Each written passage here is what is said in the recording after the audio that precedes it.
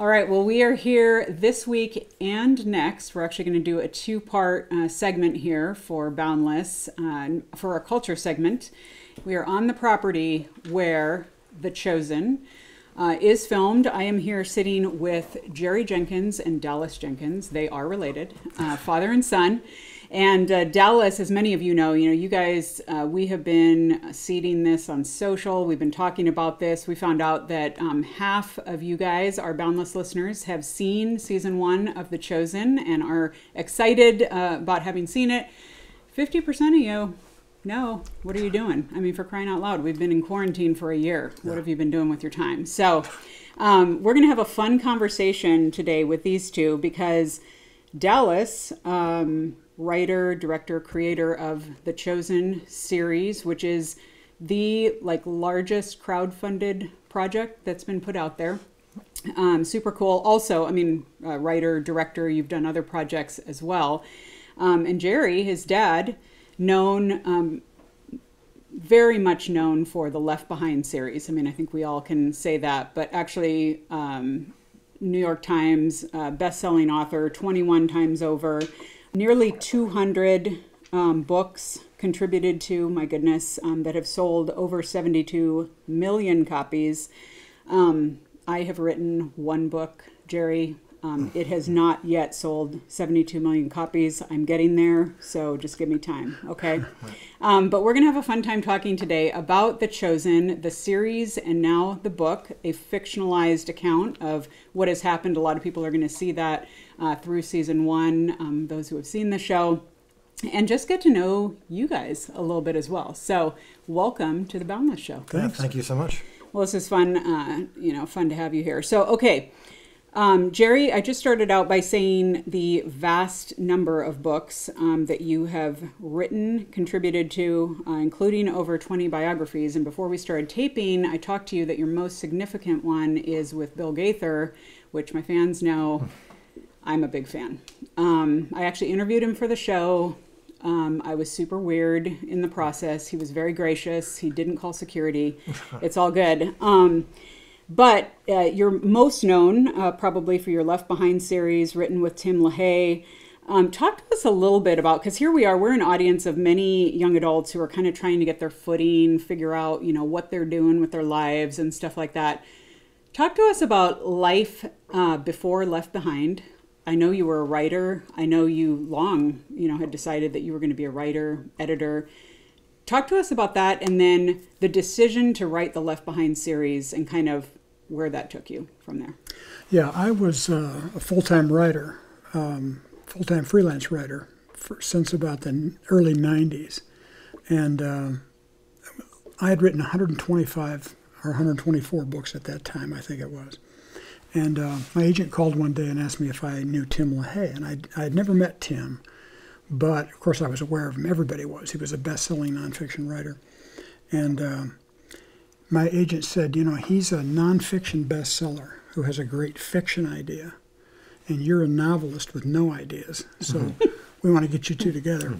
we uh, we met and we really hit it off. He was the same age as my parents, and and uh, in fact he's passed by now. He died on Dallas's birthday about three years ago, and um, but he you know he was such a, a wonderful man of God and and uh, such a, a, dramatic witness. You know, whenever we were together, he would share his faith with somebody.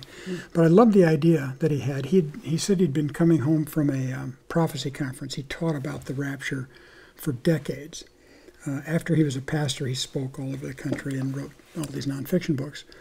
And he said um, his books about the end times he thought were good and, and interesting. And of course, they espoused his, his uh, unique view of it, and, which I happen to share, even though I'm not a theologian or a scholar.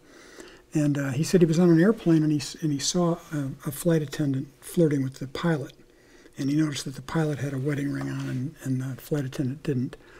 And uh, he just started thinking, you know, what, what would happen if these two have a relationship or, or are thinking about one, um, and maybe he's got a wife at home who's a believer in Christ and who's been telling him about the rapture. And the rapture happens right then. And a third of the people on the plane disappear right out of their clothes. And uh, and then he knows when he gets home, his wife's going to be missing too. And that's what he had. That was it. That was the basic, you know, germ of the idea. I loved the idea, and um, so as we talked it through, I just, you know, I was assigned to write a, a first chapter and and see how this might play out.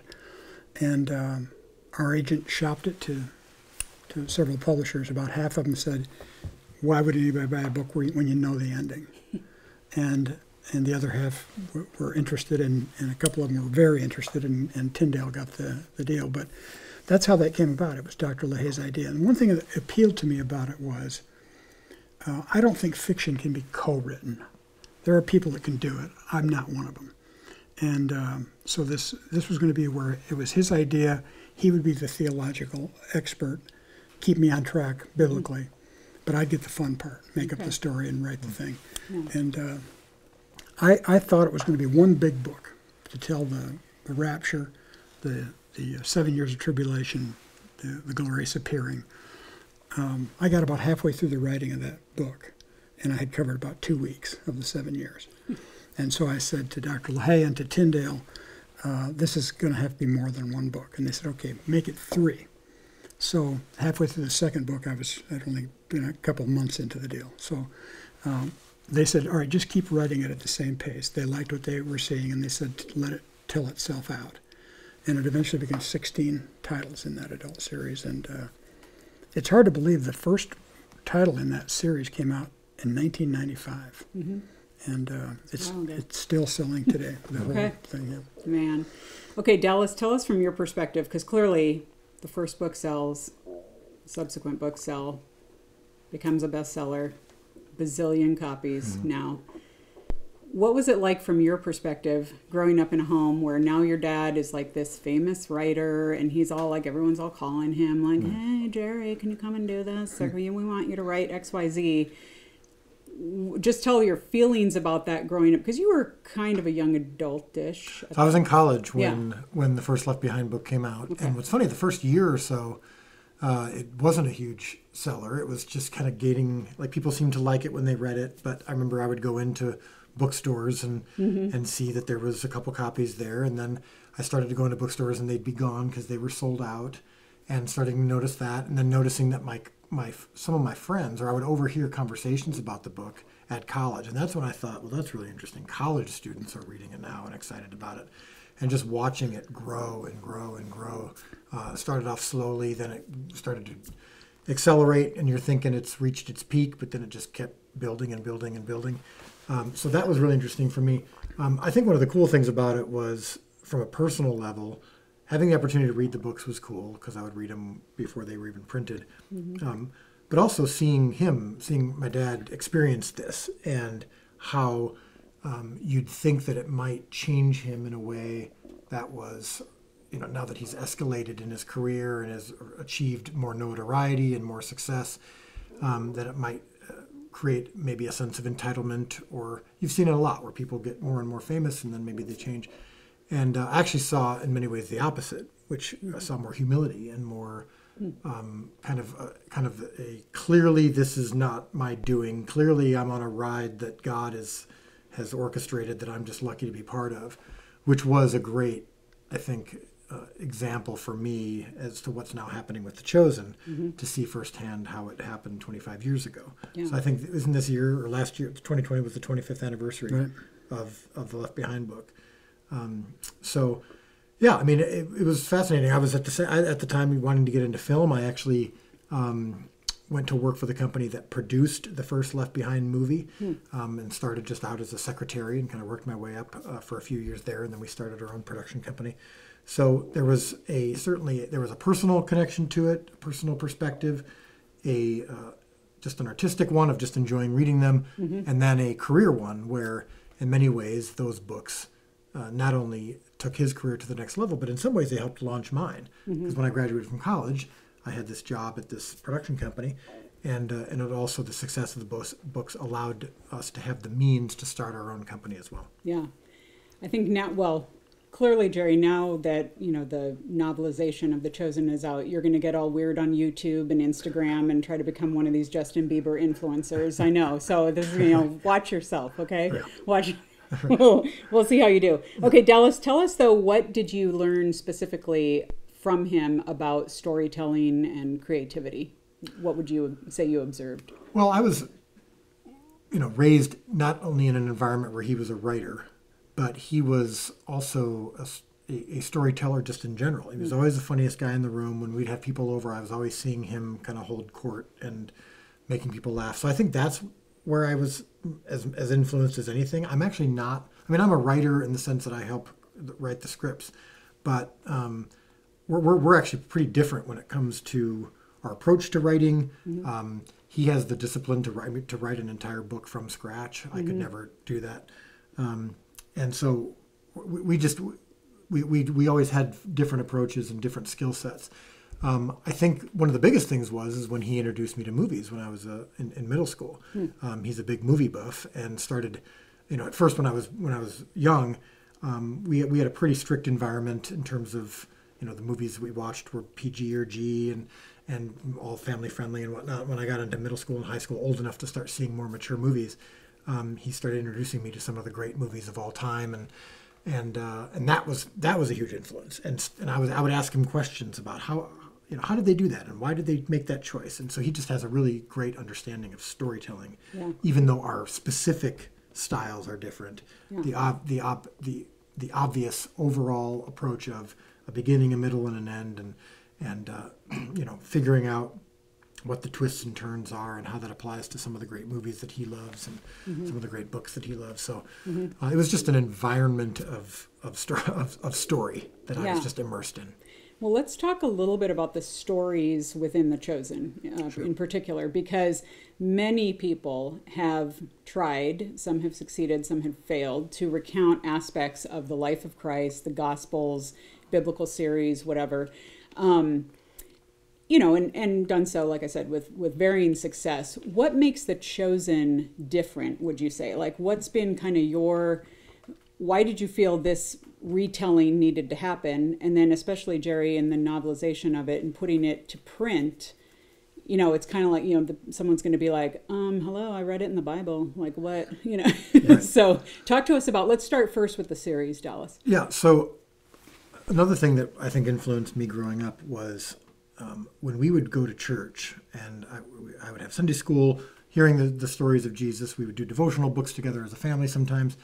Um, my dad is is actually quite outside the box when it comes to um, joking around and, and and thinking of things that maybe aren't on the page. So, excuse me, we would so we would read a, a, a Bible story, and he would say things like, "Could you imagine what it must have been like to sit there and or have the disciples sitting around the campfire at night? What would they have talked about?" And we would start making jokes, and and I, I always had this skewed perspective um, on some of the famous stories of the Bible. Is we would always want to go a little bit deeper. Mm. I think he's a very curious uh, person, and I'm very curious about. All right, this story is interesting, but where, where else can we go with it, and what are, what's some of the context? So the chosen came from a place of truly wanting to explore um, the stories that I've heard hundreds and hundreds of times, but only heard them on a surface level.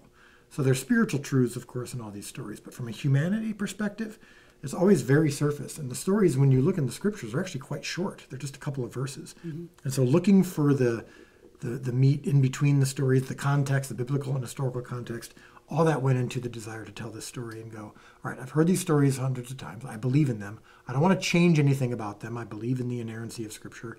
I believe that this Bible is God's word. I don't. There's no reason to improve upon it.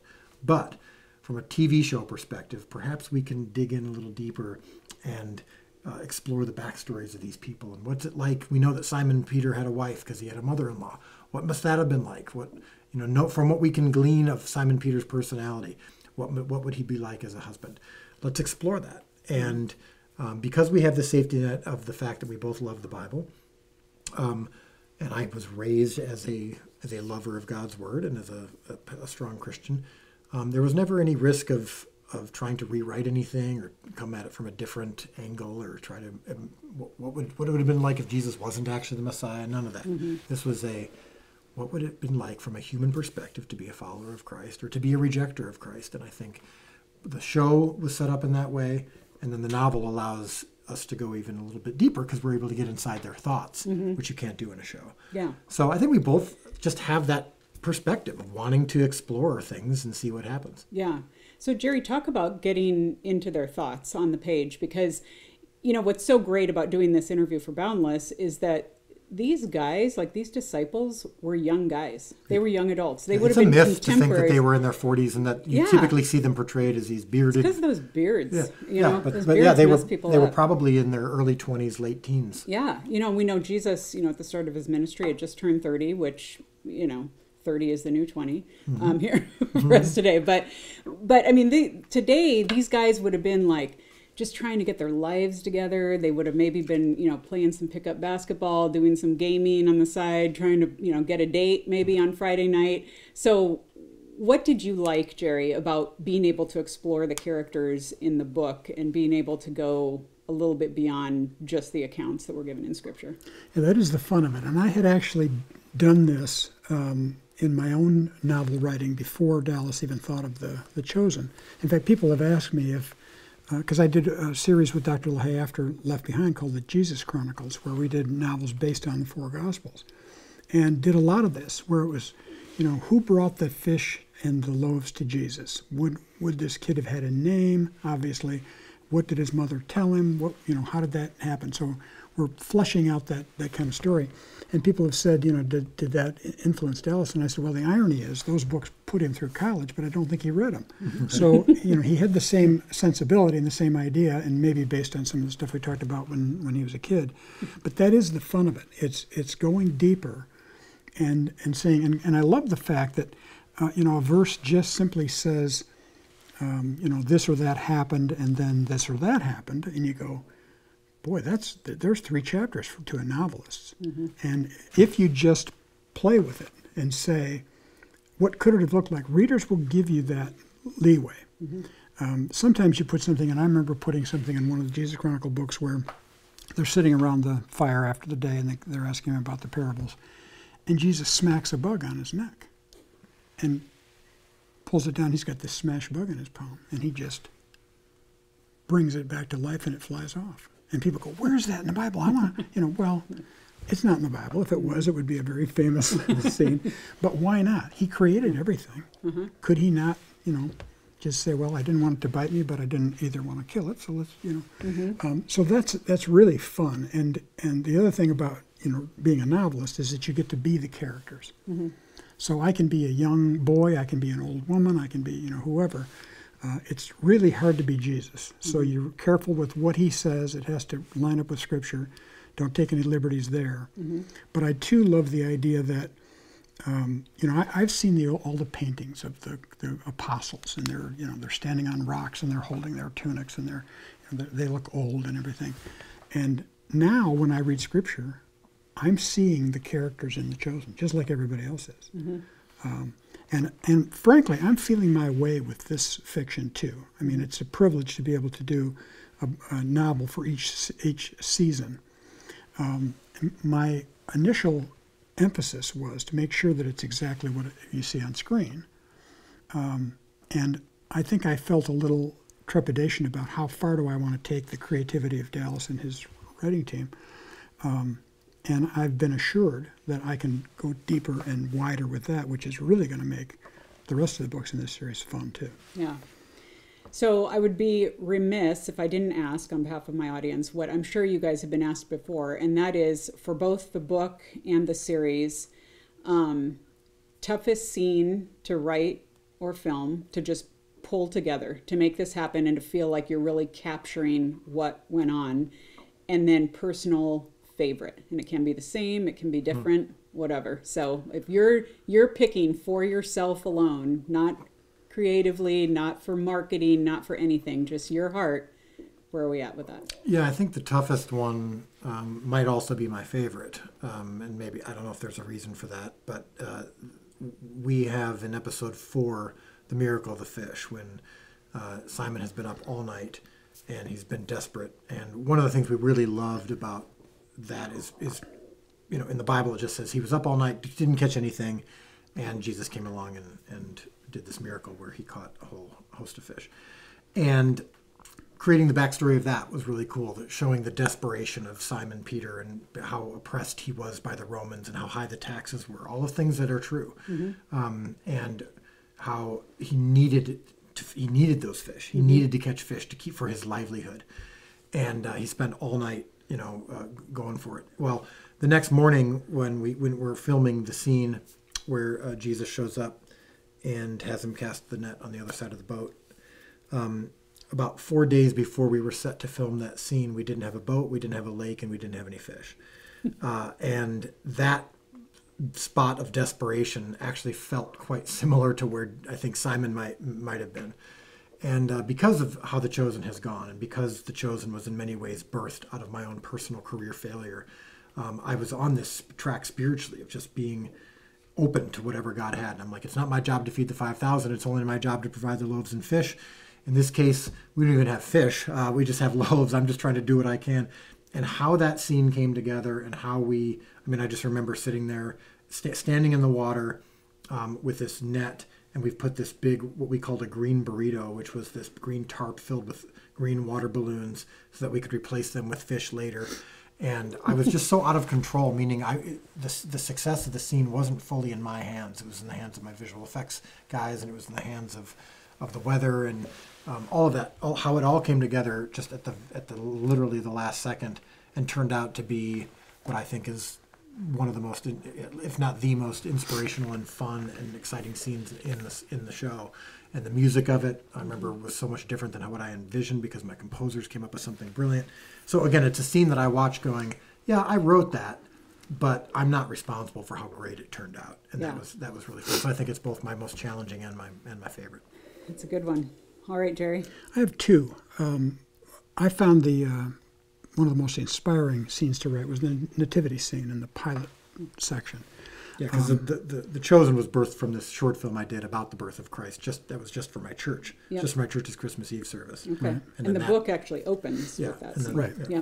And I had uh, written a play for our church years ago about a young shepherd who asks an old shepherd who had been at the Nativity to tell about that night. And it's just a monologue of him telling that.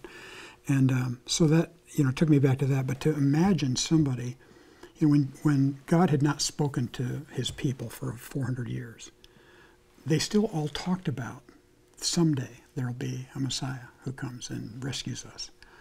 And then to have these lowly shepherds have this announced to them, it, it moved me. You know, that's one thing I, in writing this novel, I had to watch, uh, I say had to, but I, I had to watch every episode.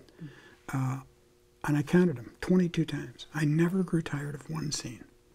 And and I love the nativity scene. It was, it, and it didn't, it didn't take a whole lot of creativity for me because the, these guys had done a brilliant job with it.